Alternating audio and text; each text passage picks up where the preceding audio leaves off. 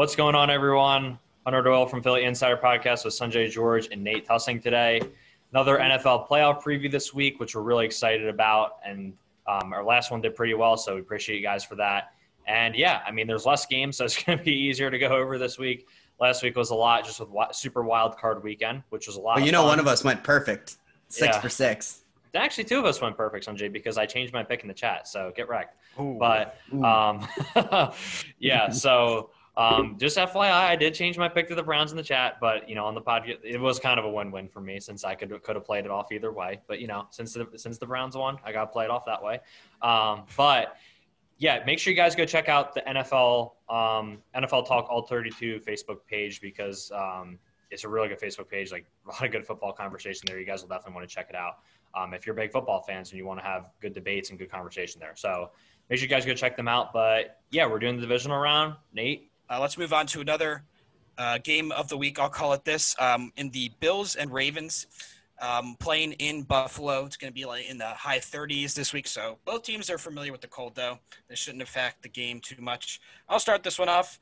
I got the Bills here. Um, and uh, it's going to be close. I'll tell you, I'm not comfortable with this pick because the Ravens certainly impressed a lot of people last week, but they also kind of disappointed in the same way. The fact that everybody's saying that Lamar is insane because he won his first playoff game, like it's great he won his first playoff game, but that doesn't make him insane for winning a playoff game after, you know, this doesn't make him a superstar right now. He's been playing bad. He started warming back up.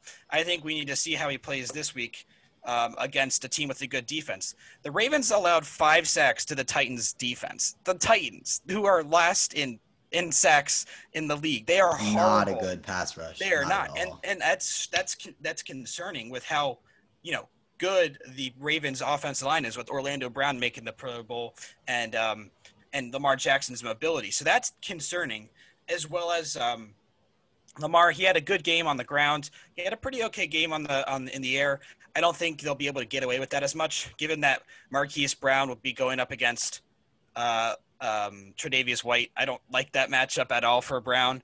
Um, I think their run game will continue to flourish. People people say the Bills have a bad run run defense. That's true, but the Bills I think have played with a horrible defense the whole year and made it win, putting up 40 plus points. I think this is going to be a high scoring game. I, I think that the the the Bills don't necessarily have to stop Lamar. They just have to slow him down and have the Ravens play from from behind. That's the key thing. Start out strong and have the Ravens play from behind because they can't just keep running the ball when they're behind. They're going to have to throw the ball, and that's where Lamar is going to struggle. So I'm taking the Bills here 40, 35. It's going to be a high scoring game. Bills are going to take this one. Hunter, let's hear it. Well, you stole one of my points. So you guys are both stealing my points. I, I have right here how will the Bills try to limit Lamar and Dobbins, not stop them because you're not going to stop, yeah. like you said. So, um, kind of like the Bills' pass offense, it's not really possible to stop the Ravens' run offense, right? You're going to have to limit them. Um, Tremaine Edmunds, he's going to have to be a big part of this. I, you know, I like Tremaine Edmunds a lot, but you know, yeah, he definitely has his issues sometimes. Uh, he's also on the injury report this week, which is a little bit worrisome for me. Um, and like you said, the Bills' run defense has been meh. it's not not so great, especially when or even when healthy. Um, you know, while they like prime example last week, they did well against Jonathan Taylor, but then Nyheim Hines had like a few major runs that kept the, kept the Colts offense going, right? Um, but the Bills, you know, they beat Russell Wilson, mobile QB there. Um, they beat, well, almost beat Kyler Murray, except for the stupid Hail Murray that yeah. he got. Um, so, you know, they they limited him that game. Um, and Philip Rivers, don't forget that mobile QB. yeah, for real. But they've done well against mobile QBs, but Lamar is obviously Lamar is obviously the biggest test here, right? Mm-hmm. Um, Patrick Ricard, I mean, he's a big part of setting up that run game.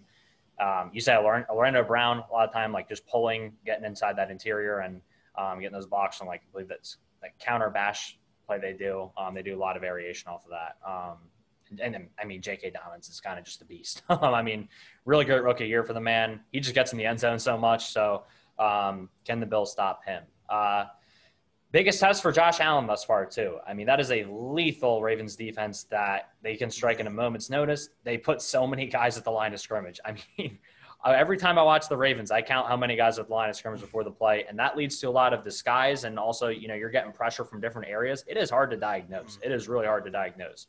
Um, so you know, will will they make Josh Allen kind of second guess himself and with their disguise looks, stuff like that? Um, and then also like how will how will uh, Marcus Peters and Marlon Humphrey deal with Stefon Diggs in this one too? Like that's gonna be a big thing. You're gonna have to keep an eye on this man at all times in this one. Um, but like my thing is, even if the Ravens go ahead, it's kind of like the the Chiefs were last year. Like the Bills are such a quick strike team. You saw it last week. The Colts won time of possession. They won the field position battle. Like they did what they were supposed to do. But because the Bills, the Bills, even though they got backed up, they just down the field so quick. And that two minute drill, um, the Colts also kind of faltered in the red zone. A couple bad decisions, a couple uh, missed opportunities. So yeah, weird predictions. Mark Andrews is going to score in this one. I mean, Mo Alie-Cox, Jack Jack Doyle, and Trey Burton were kind of balling last week. I mean, they were having they were having a field day. Um, so you know, the Bills' defense is not good against tight ends. 92 receptions, that's first in the league. 90, 933 yards, second in the league. Eight touchdowns, the 12th in the league. Um, but at the end of the day, the Bills just have too much firepower. I mean, even a limited Bills Mafia is going to make an impact on this game. Um, I think the Bills will win a close one. I, I, feel like they're just destined this year. That's just my opinion. So I've got them winning 30 to 27, a really close one, just covering that two and a half spread. Again, the spreads are going to change closer to the game, but yeah, that's again another game I was really excited for, like you, Nate. So. Yeah, for sure. One thing that you brought up that I forgot to mention with the, how many people that the the Ravens line up at the line. Um, they're very heavy defense or uh, blitz defense. One of the and, and, they're great at disguising it. But uh, the Bills actually have, are phenomenal against the blitz. Um, Josh Allen has been he stepped up so much. Last year he'd get yeah. sacked every play, you know, and this year he's great at dis, uh, diagnosing the blitz and getting out of there, getting the ball off quick. Um, so I, I think that that may be a a handicap for the Ravens with blitzing too much because you get Stefon, AJ, or not AJ Brown, John Brown, you know, a little bit of room and they'll take it 90 yards. And that that's mm-hmm. something that the, the Ravens won't be able to do, even if they're ahead, because the Bills will just strike right there. Um, Sanjay, sorry, I didn't mean to cut off you there. Um, Sanjay, you can hop right in after this. So we got two Bills, zero Ravens. Who you taking? So I'm going to save my pick until a little bit later. Let me first give my reasons. So first off, well, I, know I like what you, you said, Nate. I like what you said, Nate, because the Ravens are not built to play from behind. They really aren't. Their offense being predominantly rushed, being established on the ground. You mentioned J.K. Dobbins, Hunter, Gus Edwards also big change of pace back for them. Yes. Comes in, makes Gus big plays happen, makes real big plays happen. You see him involved all the time, making getting those first downs, converting those third and shorts. He does it. He does it all out there. And then obviously, I don't need to say much about Lamar.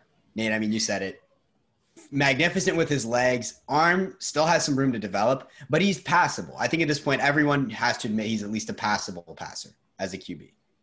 So he makes you respect him in that aspect too. With all that, and then you look at the Bills side. So much firepower they got, like you mentioned, offensively explosive.